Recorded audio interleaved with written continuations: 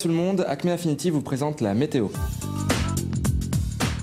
Demain, sur le Gard et l'Hérault, le soleil sera voilé en matinée, avec des températures qui oscillent entre 2 et 3 degrés.